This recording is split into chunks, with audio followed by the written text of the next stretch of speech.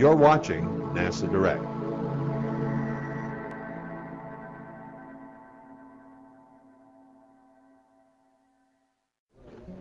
Reporting for duty in the early morning hours of September 27th, KSC's Damage Assessment and Recovery Team began assessing the damage Hurricane Jeanne left behind.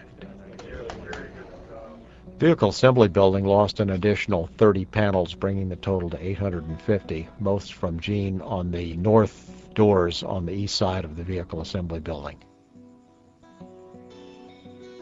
The south face lost some additional panels as well, um, most enlarging some of the areas that were open to the outside. Some of these uh, panels are very light and have wide surface area, so they uh, flew some distance uh, from the VAB all the way out uh, to near the uh, North Causeway.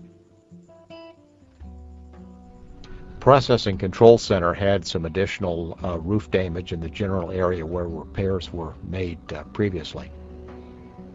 In the orbiter processing facility hangars, the landing gear were bagged this time instead of raising the gear because there was no storm surge threat. And in addition, the um, areas around the leading edges of the wings were bagged for protection, as well as the uh, nose cap, which is also very sensitive.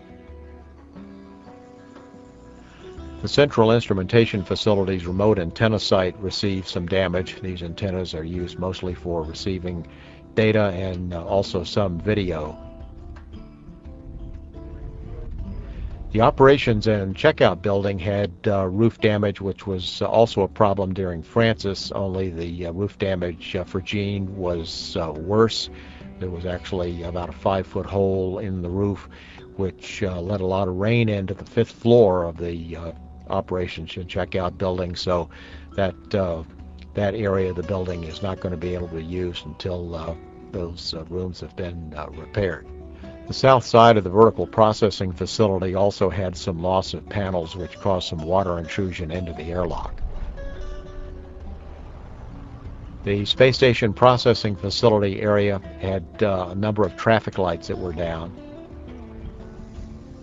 The multi-payload processing facility had uh, damage to the roof.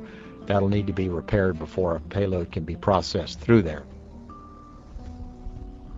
The Swift spacecraft is at Hangar AE, and the damage there was from Hurricane Frances. Hangar AF had some roof damage from Jeanne that uh, had not occurred during Frances. Not serious, but uh, it did allow some water into the office areas. The uh, railroad tracks, which are part of the NASA Railroad leading into Cape Canaveral Air Force Station, they uh, had uh, wave damage that uh, washed sand over the tracks. And uh, for access to the Titan complex, those railroad tracks will have to be uh, cleared of sand and debris before they're usable. The launch pads, pad 39A and B for shuttle, neither had any damage at all from either of the two hurricanes.